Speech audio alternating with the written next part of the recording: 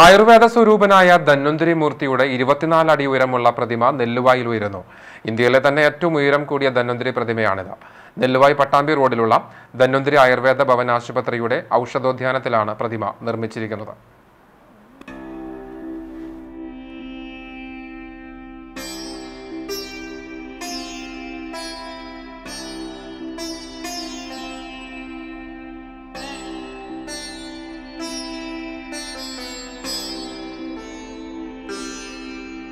ആയുർവേദത്തിലും സാഖ്യശാസ്ത്രത്തിലും പ്രതിപാദിക്കുന്ന പ്രപഞ്ചത്തിന്റെ ഇരുപത്തിനാല് തത്വങ്ങളായ അവ്യക്തം മഹത് അഹങ്കാരം പഞ്ചതന്മാത്രകൾ പഞ്ചഭൂതങ്ങൾ ജ്ഞാനകർമ്മ ഇന്ദ്രിയങ്ങൾ മനസ്സ് എന്നിവയെയും ശരീരത്തിനാധാരമായ ഇരുപത്തിനാല് തത്വങ്ങളെയും പ്രതിനിധാനം ചെയ്താണ് ധന്വന്തിരി പ്രതിമയ്ക്ക് ഇരുപത്തിനാലടി ഉയരം നൽകിയിരിക്കുന്നത്.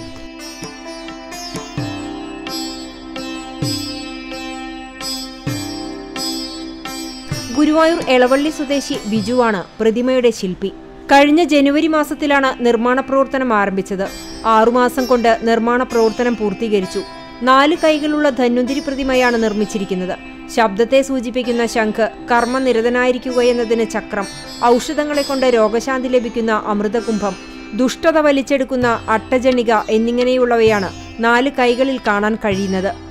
ഇരുന്നൂറിലധികം ഔഷധ സസ്യങ്ങൾ വെച്ചുപിടിപ്പിച്ചിട്ടുള്ള ഔഷധ ഉദ്യാനത്തിലാണ് ഇന്ത്യയിലെ മഹാത്ഭുതം ഒരുക്കിയിരിക്കുന്നതെന്ന് Dhanvantari Ayurveda Bhavan managing director doctor Sreekrishnan പറഞ്ഞു. ഞങ്ങളുടെ ഈ ചെറിയ ഒരു ഉദ്യാനം ഔഷധ ഉദ്യാനം ഇരുന്നൂറിലധികം ചെടികളുള്ള ഈ ഔഷധ ഉദ്യാനത്തിൽ ധന്വന്തരിയുടെ ഒരു പ്രതിമ.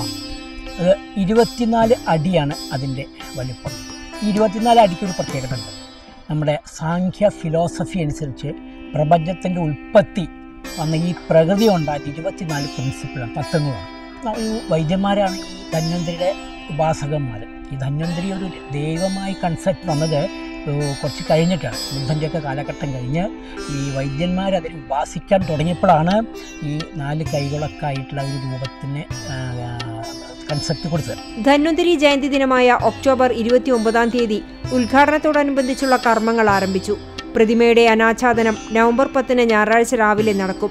ഇന്ത്യയിലെ വിവിധ ഭാഗങ്ങളിൽ നിന്നുള്ള ഇരുപത്തിനാല് ആയുർവേദ ആചാര്യന്മാർ ചേർന്ന് ഗംഗ യമുന ബ്രഹ്മപുത്ര ഗോദാവരി നർമ്മദ സിന്ധു തുടങ്ങിയ ഇരുപത്തിനാല് പുണ്യനദികളിൽ നിന്നുമുള്ള ജലം അഭിഷേകം ചെയ്യും. ചടങ്ങിൽ ഭാരതത്തിലെ ആയുർവേദ വിദ്യാപീഠത്തിന്റെ കീഴിലുള്ള പലവിധ ആചാര്യന്മാരും ഡോക്ടർമാരും ഗുരുക്കന്മാരും ചടങ്ങിൽ പങ്കെടുക്കുമെന്ന് Dhanvantari Ayurveda Bhavan deputy chief physician doctor S Sreenath പറഞ്ഞു. താൽക്കാലികമല്ലാതെ ഒരു പെർമനന്റ് ആയിട്ടുള്ള സ്ട്രക്ചറിൽ വെച്ച് ഏറ്റവും ഉയരം കൂടിയ ഒരു ധന്വന്തിരി പ്രതിമയാണ് ഇത് എന്ന് തന്നെയാണ് ഇപ്പോഴും വിശ്വസിക്കുന്നത്. ഇതിന്റെ മുമ്പിൽ വെച്ച് തന്നെ ധന്വന്തിരി ഹോമവും ധന്വന്തിരി പൂജയും ചെയ്യുന്നുണ്ട്.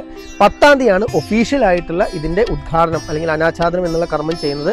അത് ഭാരതത്തിൽ നിന്നുള്ള രാഷ്ട്രീയ ആയുർവേദ വിദ്യാപീഠിന്റെ പലവിധ സംസ്ഥാനങ്ങളിൽ നിന്നുള്ള പലവിധ ആയുർവേദ ആചാര്യന്മാർ അല്ലെങ്കിൽ ആയുർവേദ ഗുരുക്കന്മാർ വന്നിട്ട് ഇതിൽ പലവിധ നാട്ടിൽ നിന്നുള്ള ജലങ്ങളും മണ്ണുകളും ഉപയോഗിച്ച് ഇതിനെ ശുദ്ധീകരിക്കുകയും ആ മണ്ണുകളെല്ലാം ഉപയോഗിച്ചുകൊണ്ട് ഇന്ത്യയുടെ ഒരു ഭൂപടം വെക്കാനുള്ള ഒരു ഉദ്ദേശം കൂടിയാണ് നവംബർ പത്താം തീയതിയാണ് ഇതിന്റെ ഔപചാരികമായ കർമ്മമായിട്ട് നമ്മൾ ഉദ്ദേശിച്ചിരിക്കുന്നത്. കൂടാതെ പ്രതിമയ്ക്ക് മുൻപിലായി അതത് സംസ്ഥാനങ്ങളിൽ നിന്നുമുള്ള മണ്ണുപയോഗിച്ച് നിർമ്മിക്കുന്ന ഇന്ത്യയുടെ ഭൂപടവും തയ്യാറാക്കുന്നുണ്ട്. C news Erumapetty.